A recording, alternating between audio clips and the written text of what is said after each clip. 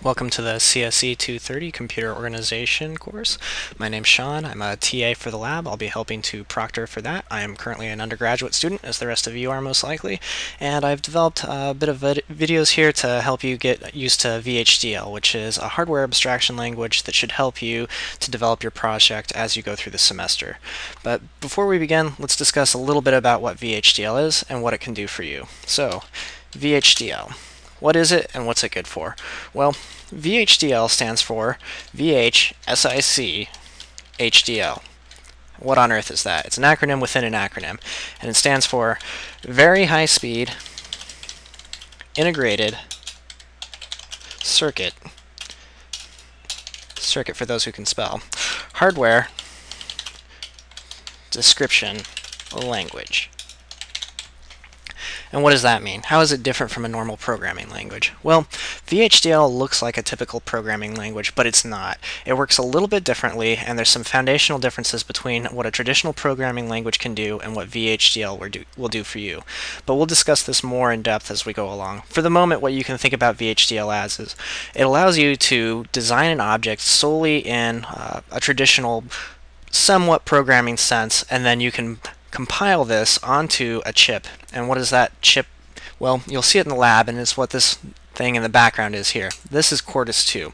And Quartus 2 allows us to compile designs for the Altera family of uh, FPGAs, or fully programmable gate array chips. And these chips are customizable via software download so that you can demo or model pretty much anything that you want to on them within reason. So for instance, if I have an FPGA chip, I could put a simple stopwatch on it or I could put an MP3 player on it. You know, it all comes down to what I've designed for it and what I can use it for. In your case, you'll be building a processor on it that'll do some simple uh, processes like addition, subtraction, XOR, and whatnot, and so forth. So let's take a look at the Quartus 2 IDE right here. We've got a basic, uh, this is what it'll look like when you come into it. This is actually the uh, student version, version 9.1. It's uh, fully downloadable off of uh, website. So let's start a new project. We'll just go to new here. Oh, excuse me, and that wants us to do new files. So we'll go to new project wizard. And this just tells us basic info. We're going to need to know where we want to create it, and I've created a folder there. We'll have to name it something, so we'll call this simple project. And we'll hit next. And then it'll ask us if we want to include any files in the project. We don't have any pre-made files, so we don't have to worry about this. If you have pre-made files later on, this is where you would include them. We'll hit next. Here's where you can choose which piece of equipment that you want to use this for. So throughout here you see all these different chips that Altera provides. And in fact, there's different types of boards that Altera provides here. Uh, we'll be using a Cyclone 2 and it'll be one of the chips underneath here, but for now we don't need to care about which device we're using. So we're going to take auto device selected by the fitter. This allows us just to play around without having to worry about how much memory we have and how much we're going to run out of. So we'll hit next. We don't need to worry about any of the EDA tools and it'll give us a basic readout of what we've done so far and what it's going to create. We'll just hit finish. Okay, so we've got nothing now, completely blank. Yay! Okay, so let's start working here. We'll go to File, New, and we're going to create a block diagram schematic file. It's here underneath Design Files. It's just in, in this drop-down. And that gives us this right here. And this is basically, think of it as an architect's design for computers or for our FPGA. And this allows us to put down all of our different models that we'll develop either in VHDL or in schematic capture. Right now we're playing around in schematic capture, which truly, truly allows us just to draw right on it. So let's start some drawings.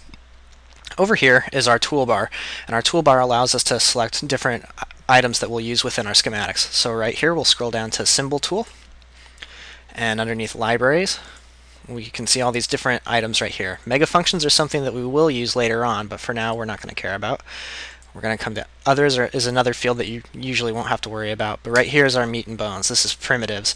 And underneath here we have all the traditional things that you might want in a design. So for our case, we want some logic. Let's build an AND gate. Okay, select it, and we'll just left click anywhere we want, and we have an AND gate. Sometimes Quartus's IDE is a little bit wonky, as you can see here, this yellow line overlapping this blue. If that happens, just click on it, or drag it around a little, and it'll clean right up. So an AND gate by itself isn't too terribly interesting. Let's grab something else. Let's grab an OR gate. Right here you can see we have all these different gates that we can choose from. This is binary, not, um, another another B OR gate right here. We have a couple NAND gates here. Uh, and we want the 2 OR gate. We're going to plop that down right there in front of our AND gate. A little bit more. Okay, so now we have two gates, but they're just kind of floating in space there. Is there any way that we can connect them up? Definitely. So right here we come to our orthogonal node tool, which is really just a fancy way of saying wire. So we're going to grab this, draw a wire here, and then we're going to draw a couple more wires floating out in space right here. One here, one here, and another one down here. One more right out here. Okay, so now we have some wires and we have some gates, but we're not really doing anything with them. So let's grab our tool again. Only this time we're going to scroll down to pin. This is what allows you to connect up to the different controls on the VHDL, excuse me, on the chip for Altera, and would also allow you to do simulations within Quartus here. So we're going to grab an input, and if I just click again, I can put another one down and another one. And then we also want to grab an output pin. It's nice to have things that do stuff, right? That's exactly what the output's for. So now we're just going to connect them up.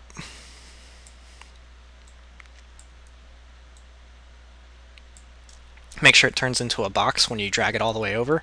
Otherwise, most likely you're not actually making a connection. If you don't make a connection, you'll see a little X where your line is.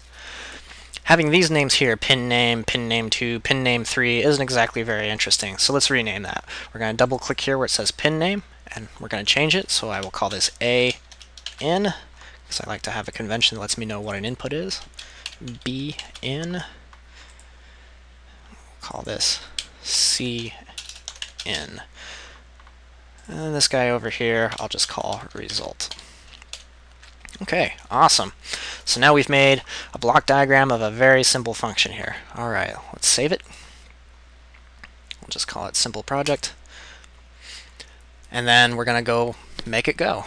So up here in this toolbar along here, you see this little button right here, Start Compilation. This will go through the full shebang. If you hit this button, it'll compile it, it'll design it for what it needs to do for the board, and you will be able to upload it straight to the board. Uh, that can take a little bit longer, so for our purposes, we don't need to do all that. We're just going to do the analysis and synthesis, which goes through all the compilation, but none of the necessary fitting and plotting for the chip specific. So we're just going to click that. You'll start to see over here, uh, there's a percentage bar as it goes through each one of the steps, and hey, I didn't mess up, so that's a step in the right direction. Okay, so now we can see here that the total number of logic elements it used, uh, the functions that it implemented, and the total number of pins. Uh, down here you get a little bit more information that you may want. Sometimes you get info, sometimes you'll get warnings, uh, and then worst of all is obviously the errors. We have none of those because we are all awesome programmers who never make mistakes. Okay, so that's great. So now we have a compiled design, but what can we do with it? Well, we want to simulate that. So we'll come up here to File, we're going to go to New, and we're going to go down to vector waveform file that's underneath verification and debugging files. That's going to be what allows us to see how this function behaves over time. So we're going to say OK, and that gives us something here. Right here underneath name, if you right click, you can go to insert, and it'll say node or bus. And we'll go to node finder. And then right up here where it says pins all, that's exactly what we want. And we're going to list them. This lists everything that's on that design. So we're going to say we want A, we want B, we want C, and I'm going to hold down shift. There we go. We want everything. Alright, it's going to say multiple items. Uh, we have a, a, different radix that we can sort here. So if you have what's uh, called a multi-vector bus. In other words, if you have uh, multiple bits on the same line, it'll give you the option of seeing it in ASCII, in binary, uh, in hexadecimal, octal, signed, unsigned, all that fun stuff. Uh, we really don't really need to worry about what we're doing here, so we'll just leave it in hex. Um, our bus width is 1, just means we're one bit wide. We'll say OK. So right here we have this is an, these are all of our inputs, and then our result is an output, and it's all these little hashes right here because we don't have anything going to it. So we need to put some inputs on our different lines here. We're going to take this and right-click, and go to Insert, or excuse me, we're going to go to Value, and we're going to go to Clock. Clock allows you just to turn it from high to low, high to low, high to low. There's all different options in there, including ones that are arbitrary or completely on or completely off that you can play around with. So we're going to make this kind of quick. We're going to say that it's a 5 nanosecond period with a duty cycle of 50%, so it's a square wave. And there we go. We're going to do the same thing for B, clock, except we're going to double him. And we're going to do the same thing for C and double him again. 20. There we go. Those are going to be the different values that get simulated on this result. So we're going to save this here. It'll ask you for a name. I'll call this simple project waveform. And now we can simulate. So we're going to go to processing and start simulation, or you can go to simulator tool. I prefer the simulator tool. There's two different modes of simulation. One is timing and one is functional. Functional just simulates the exact results. So if I have A and B together, it will give you a C, or however we define our function timing gate delays. And gate delay is when I turn the power onto something, it takes a little while to push through that device. Now, I grant you, we're talking electricity here, so this isn't very fast, or excuse me, very slow. This happens on the order of nanoseconds. But for our simulations, nanoseconds matter, and you'll see as you work on your project that uh, certain things will start to delay how long it takes to get through your system. So the more components you have in your path, the longer it's going to take. That's what the timing analysis will tell you, and it'll be really instrumental in helping you to discover uh, timing issues that are going on in your circuit. For instance, something's happening on this part of the circuit, but it needs to be to a different part faster, so you can kind of fine-tune that. But for now, we're just going to we're just going to do functional. We don't care about any of that timing stuff. In order to do functional, you also have to generate this functional simulation netlist. So we'll hit that button, It'll do some magic here while we're waiting. It's successful. And then we can just hit start. Oh, excuse me. You also have to input a file. Now we'll start. Simulator successful, and we can go down here to report and view that looks like a mess, so what we can do is grab our little zoom tool over here and we can start zooming in to figure out what is going on. So as we can see here, when A and B are both high, it's true. Or anytime when C is high, it's true. And when they're all false, it's false.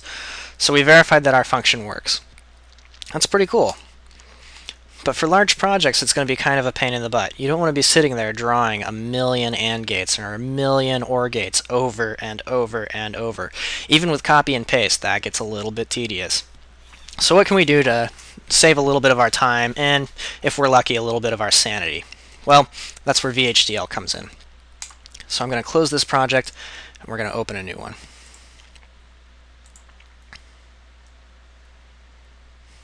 Actually, I'm going to scratch that. I'm going to reopen that project because we can do it right in here. So let's implement this entire function here as a single VHDL file. It'll save us some time. We're going to go to New. We're going to go to VHDL file here. That's underneath Design Files, once again, just like our block diagram was. And here we go, a blank sheet of paper. Holy God, what do we do with this? Well, we're going to start doing what we're used to doing, and that's filling it up with words that make some sort of sense for the computer. so we're going to start by saying library. Library is just a standard set of functions. Uh, Quartus comes with a couple of them. The big one is IEEE. This has uh, standard definitions for things like logic vectors for uh, buses and sometimes some math functions as well that you might want to use. And we need to use this library, so we're going to say use IEEE standard logic 1164, which defines a bunch of different variable types, all, because we want everything. Now we need to create our entity. Well, let's name it. Entity.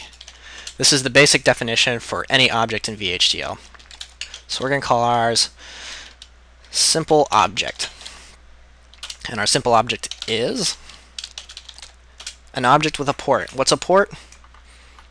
Well, a port is these guys right here. It's our A, B, and C, and it's going to be our output. It's basically all of the lines going in and going out of a project. So we're going to have an A, a B, and a C. And all of these are going in. And they're going to be standard